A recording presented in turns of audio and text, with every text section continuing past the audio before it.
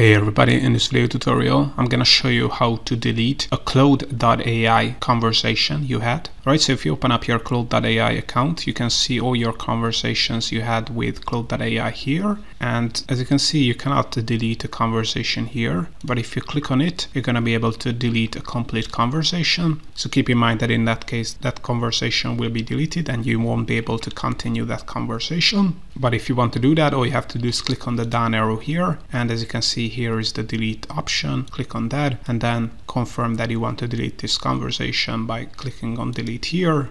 And as you can see, that conversation, that test conversation has been deleted. So all in all, this is how to delete a Claude.ai chat conversation in your Claude.ai account. If you want to learn more about this Claude.ai software, I have more advanced tutorials on my YouTube channel, and I also have a ton of ChatGPT, Google Bard, and other AI tools tutorials. So make sure to subscribe because more tutorials are coming up.